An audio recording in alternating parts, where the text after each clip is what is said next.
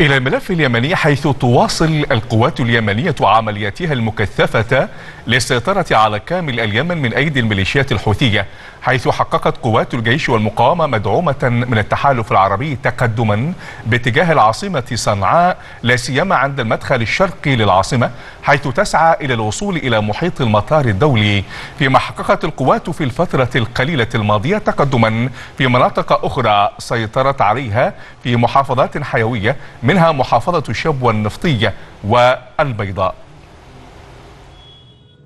منعطف خطير دخلته الأزمة اليمنية عقب اغتيال الرئيس السابق علي عبد الله صالح مطلع الشهر الجاري.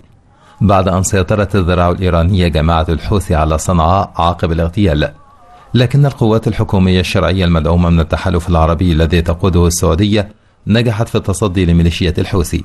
وخلال الأيام الماضية صعدت قوات الشرعية من عملياتها العسكرية ومن ورائها طيران التحالف العربي وأحرز معسكر الشرعية تقدما ميدانيا مهما باتجاه معاقل الحوثيين في محافظة البيضاء وسط اليمن وعند البوابة الشرقية للعاصمة اليمنية صنعاء في محاولة للوصول إلى مديرية أرحب المجاورة الممتدة إلى محيط مطار صنعاء الدولي.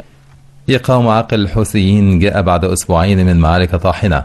أسفرت خلالها عن هزيمة المقاتلين الحوثيين في مديريات البيحان وعسيلان ومعقل عين الذي يعد الأخير لجماعة الحوثي في محافظة شبوة النفطية أما في المحافظة المجاورة البيضاء فقد حققت قوات الشرعية تقدما ودخل ثاني مديرياتها وهي ناطع واستعادت معظم أجزائها ثم قامت بتحرير المديرية الثالثة الملاجم وهو ما يعد تقدما استراتيجيا بسبب موقع المحافظة حيث تتشارك الحدود مع ثمان محافظات أخرى.